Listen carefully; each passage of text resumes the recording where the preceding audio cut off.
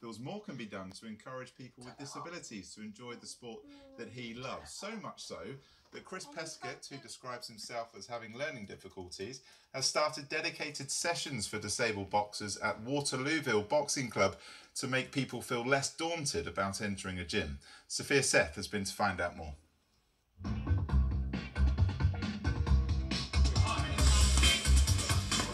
A session dedicated to teach boxing to those who may otherwise not get the opportunity to have a go. Good uppercuts, yeah, shields. I love being here to see all my friends how they're getting on with their fitness. That we all get fit and help people. And you made lots of friends? Yes, I do. Pretend it's Mike Tyson. Show me those punches. The idea to run these classes was Chris Peskett. He's a local man, himself with learning disabilities following a brain tumour. He learnt boxing a few years ago, but says he feels many clubs don't know how to deal with people with disabilities. I think what other places don't see is they look at the person and just do it by obviously appearance, but they don't actually look at like inside their real personality and their actual skills because they have a lot of potential in life, people with disabilities.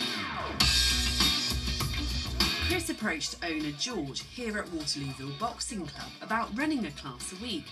George thinks that many boxing clubs do worry about having disabled people train at their premises. I don't think they will take the risk. You know, there's no risk. You know, bring them in. You'll see different class of people, and they really, really put it in. And you can tell after the training session they sweat, and they're they're laughing, smiling. They had a good session.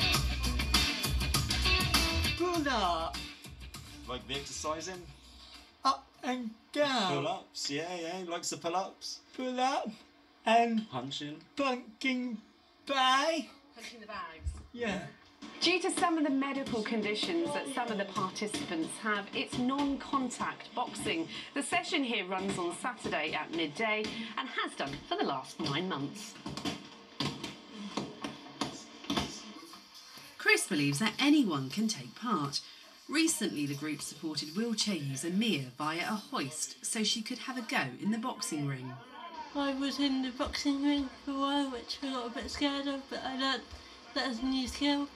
It's made me stronger with my walking, with my arms, and just I go to the gym, and then it's made me strong in the gym as well.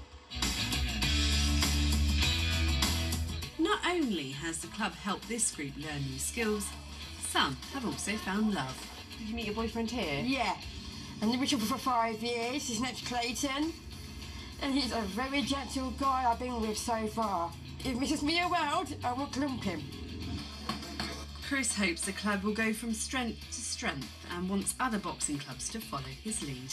Sophia Seth, BBC South Today, Waterlooville.